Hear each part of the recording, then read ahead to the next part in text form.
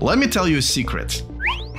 Car reviewers on YouTube and everywhere else are full of shit. You know how I know? I used to be one of them. I definitely think this is a really cool cat. Uh, definitely just excited. So this is one of those videos where you learn how to keep your house from being broken into from a professional burglar. That's me. But I have taken a different path and you can tell by the fact that I am no longer covering the automaker events mainly because they have banned me. That's right, banned me from them because unfortunately my reviews were honest and they don't like that kind of uh, nonsense. Which brings me to the first type of a car review that you should not trust. There are a total of three and we'll get to the other two in a second, but this one is the most common and popular one and yet by far the worst. Now this is the type of a review that is done by an established automotive media from bigger channels channels like Motor Trend or Doug DeMuro, all the way to smaller channels that are recognized by the car industry as micro-influencers like until very recently, myself. I thought it was just as beautiful as this one, and I also am really. Okay.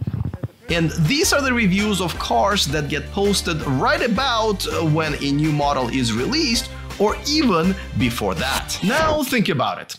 How does one get a hold of a brand new car that is not on the market or even in production yet to be able to review it? Well, you have to be invited to a media drive by the brand. If you do have a decent following on social media within the automotive niche, you should be able to get into most of the media drives or be able to get a car for a couple of days to play around with. Now, the media drives.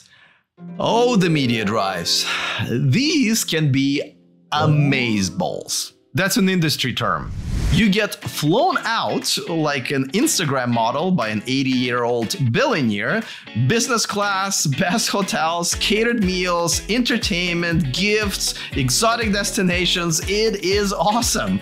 I, I think some of the trips I went to, I would estimate the brand to spend an equivalent of about, I don't know, $50,000 just on my channel to be there. So before I get to the obvious problem here, uh, there is only so much you can find out about a car if you have it from an hour to even a couple of days. It is just not really enough time to truly review it.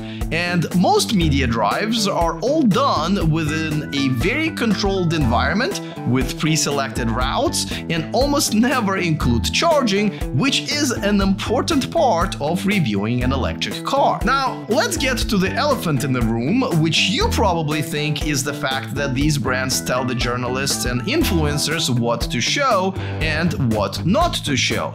But that's not actually true. It's actually a little bit worse than that. So let me tell you something that I am one of the very few journalists and influencers who's even in a position to tell you this. I will tell you what it is why I am comfortable sharing this, but before that, a quick reminder that this video is brought to you by Lectron. Look, one of the biggest challenges with owning an EV is finding convenient and reliable ways of charging it. And it's no secret that most EV drivers like to charge at home. That's why Lectron built the powerful V-Box in-home charging station. It provides up to 48 amps of power for your J1772 EV. It adds up to 46 miles of range per hour and fully charges your EV in under 6 hours. Simply plug in your car at night and wake up to a full charge in the morning. Get one today using the discount code in the description of this video. So what does happen at the media drives and private events for influencers and journalists? Of course, they tell you all the awesome things about the car, avoid as many questions as possible about any shortcomings, and then leave you the hell alone to do whatever type of a review you want to do. No, really. Uh, you can say anything you want about the car while going to town on the free buffet and an open bar they have paid for. However, if they don't like what you end up saying, well, you're just not going to be invited back. And some of them are pretty blunt about it. Here's what Volkswagen told me after I asked them why I wasn't invited to a media drive. Now, this was after I criticized their ID Buzz after its unveiling. As you can see, they had no problem telling me that a negative take on their car is what got me banned from the future invites. And that's in addition to saying that I wasn't kissing their team's ass enough for inviting me. Now, don't get me wrong, you still do see uh, some mild criticism in some of the reviews, but it's nowhere near where it should be because almost all of the professional reviewers rely on being on good terms with the brands to be able to continue doing their job and have access to the early cars. Here's a great example of one of the biggest electric car YouTube channels, Fully Charged, raving about the Honda E after an exclusive access to its pre-production car. this is very exciting. This is a really, really interesting new electric car. It's, the, it's really, really remarkable. Coming out very, very soon. That is very nice. First of all, very nice. You mean the Honda E acceleration, one of the worst EV 0 to 60 specs in the industry with over 8 seconds?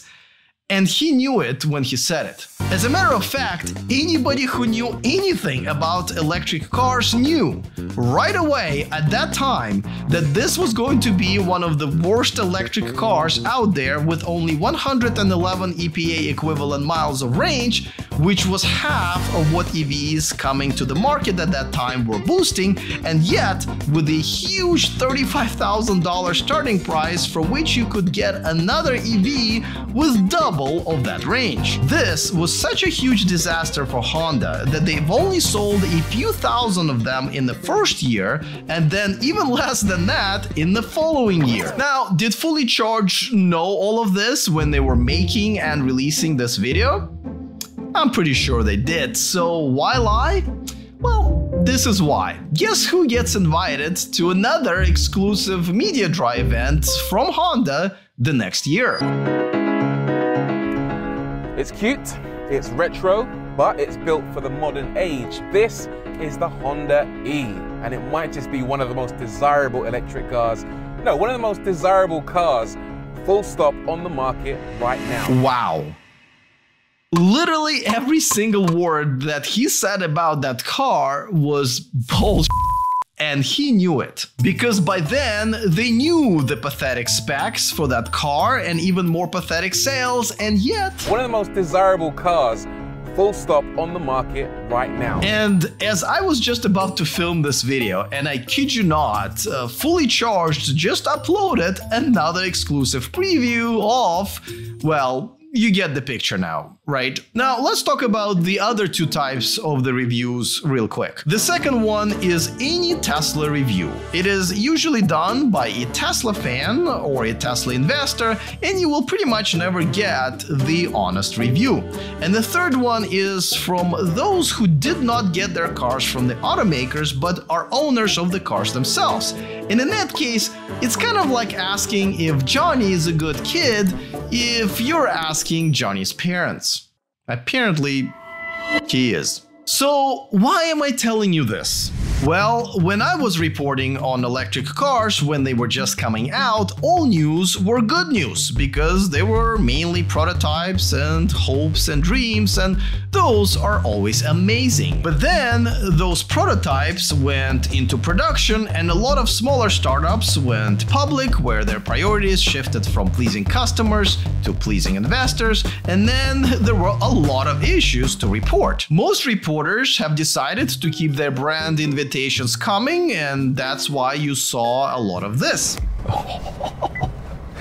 this is very exciting. But I have decided to do something slightly different. It kinda looks like a Ford delivery van dressed up as a Volkswagen minibus for Halloween. So the bottom line is this. Instead of making a statement and creating an amazing electric vehicle as a returning legend, something that Ford did pretty good job at with the Mustang Mach-E, Volkswagen has essentially put a minibus shell on top of the ID4 with very average specs that will be even more average and outdated by 2024 and called it a day. You weren't supposed to drag the ID Buzz into the past, you were supposed to bring the past into the future. This is not how you compete with Tesla and other impressive competitors. Remember that email from Volkswagen essentially letting me know I was banned from their media events? This was the video they were talking about, and I kid you not, it came out literally at the same time as I was having dinner with the Volkswagen team, including then the Volkswagen of America CEO, Scott Keogh. Now, some of you may not know this, but Volkswagen used to be a sponsor of this channel for about a year, and a video like that and other videos of me criticizing the ID4 has lost me tens of thousands of dollars in more advertising income if I would just keep my mouth shut and say, uh, I don't know, something like this. This is the new ID Buzz, and it's the cure, my friends, the cure for the oversized yet somehow cramped, boring, samey, annoying SUV that have been clogging up our streets for too damn long. Another fine video from guess who? The fully charged. So next time you're watching a car video review, don't think about what the person in front of the camera is saying, but think about the nice fat catered dinner behind it. And they are delicious. I should know. And if you want to know what happened to my ID4 and why I did this on the Volkswagen's display during this year's CES, as Volkswagen has not only abandoned me as a customer, but pretty much every single ID4 owner, you can watch that video right here.